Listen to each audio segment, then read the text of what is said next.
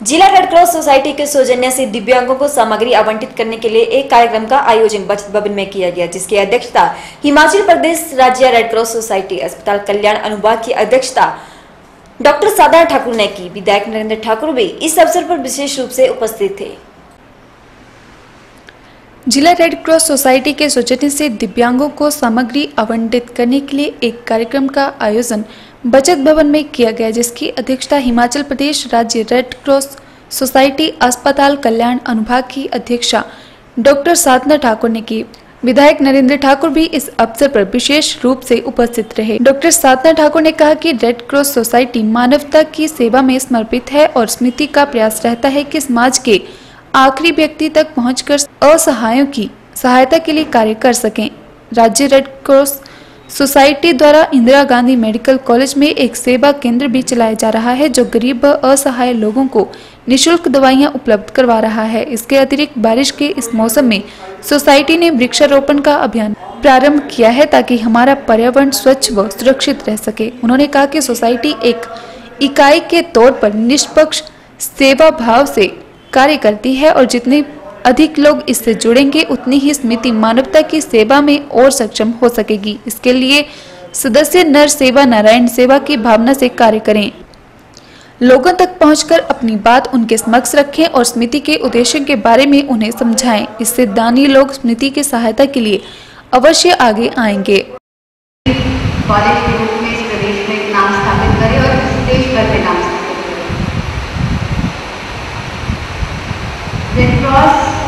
की चेयरपर्सन बन जब वाइस चेयरपर्सन बनी तो उसके बाद मन में बहुत सारे विषय थे कि सामाजिक क्षेत्रों में हम किस तरह से काम कर सकते हैं क्योंकि रेड क्रॉस अपने आप में एक बहुत बड़ी संस्था है जो जिस समय ये शुरू हुई थी उस समय ये वर्ल्ड वॉर सेकेंड हो रहा था तो उसमें जो सोल्जर्स और है जुड़े थे उनकी रक्षा उनको दवाइयाँ देना उनकी मदद करना उनकी फैमिली को सपोर्ट करना ये था पर आज बहुत परिस्थिति और परिवेश सब कुछ बदला है सरकार के माध्यम से बहुत कुछ मेडिसिन और ये सुविधाएँ सब कुछ मिल जाती है तो क्या हम अन्य क्षेत्र में भी कार्य कर सकते हैं क्या हमारा कोई सामाजिक दायित्व है या नहीं ये विषय हमारे सभी मेंबर्स के बीच में आया ये लगा कि हमें अपना क्षेत्र को थोड़ा बेहतर करना चाहिए और जो आजकल की जो करंट प्रॉब्लम्स हैं, उसमें हम अपना कितना योगदान दे सकते हैं।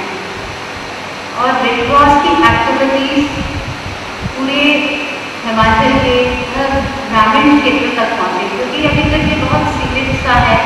शहरों में तो रेड क्रॉस के बारे में जानकारी है ग्रामीण क्षेत्रों में रेड क्रॉस की कोई एक्टिविटीज़ इस तरह से चलती नहीं है तो हमारा पिछले वर्ष से यही था कि हम जिला स्तर पे और एस डी एम तहसील तक भी अपने कार्यक्रमों को पहुँचाएँ, जिस जिसके द्वारा हम बिल्कुल इंटीरियर के लोगों की अपनी कुछ मदद कर सकें, चाहे वो हेल्थ के सेक्टर में हो, या विमेन एम्पावरमेंट में हो, या हम वृक्षारोपण पर्यावरण को बचाने या इस तरह का कोई कुछ भी एक्टिविटीज़ को करने के लिए फ्री मिलेगा हमारे लिए सांस लेने के लिए ठीक हवा है या नहीं है ये हमारी चिंता है? पैसों की चिंता नहीं है हमें इतनी तब मुझे ये लगा स्ट्राइक करा कि सच में हम भावी पीढ़ी को क्या देके जा रहे हैं क्या सिर्फ़ मकान, पैसा, ये ज़मीन, जायदाद, ये विरासत है हमारी? तब लगा कि नहीं, हमें विरासत में तो हमने बहुत गलतियाँ की हैं। हमने पेड़ों को इस बेढंग तरीके से काटा है। सिर्फ़ मटीरियल के घर बनाने के, सड़क बनाने, जो भी विकास की उसमें गति में, जो भी चाहिए था उसमें हमने बहुत अनादर किया है। और जो हमारी एक परंपरा थी, स्वस्थ, जो हमारी हिंदू संस्कृति की जो सनातन परंपरा थी, उसमें था, वृक्षों को पूजा जाता था, पानी को पूजा जाता था। उससे हम जब हटे तो हमने उस पेड़ को बिल्कुल अपने साथ का नहीं माना। और हम सब मेडिकल स्टूडेंट हैं तो पता है कॉलेज में ना ह्यूमन बींग्स हमारा कोई रोल नहीं है। बहुत अच्छा समय है वृक्षारोपण करने के लिए। पर मैं बच्चों से ये भी कहना चाहूँगी कि जहाँ पर भी समय लगता है, स्थान वहाँ अपने वृक्ष को लगाएँ। जब आप का परिसर बने तो अपने कॉलेज में लगाएँ और उस उसका संरक्षण करें, उसका संरक्षण अपने परिवार की तरह करें और उसको अपना भाई माने। जैसे भाइयों को हम कभी भी हाथ कोई लगा नहीं सकता ना, इसी तरह हमारा पेड़ है, उसको हाथ नहीं लगाने दें इस तरह की उसका दायित्व हमारी ज़िम्मेदारी रहेगी और आने वाली जो नेक्स्ट जनरेशन है, आपके नेक्स्ट जो जूनियर्स हैं, उनको भी ये आप विरासत में देके जाएँ कि हमने इस कॉलेज में ये लगाया और ये इसकी संभाल आपको करनी है और जब भी मौका मिले तो अपने कॉलेज के साथ उस पेड़ को ज़रूर देखने आना। कि वो पेड़ कितना बनबा बड़ा होगा आपको बहुत अच्छा लगेगा। आपको अपने उस जीवन का एहसास होगा अपने कॉलेज के लाइफ का कि हमने इस, यहाँ पर अपना एक अच्छा समय बिताया था। हमीरपुर जिला में सोसाइटी की गतिविधियों को बढ़ावा देने के लिए रेड क्रॉस मेले का विस्तार करते हुए इससे विभिन्न स्वयंसेवी संगठनों व महिला मंडल तथा स्वयं सहायता समूहों को भी जोड़े।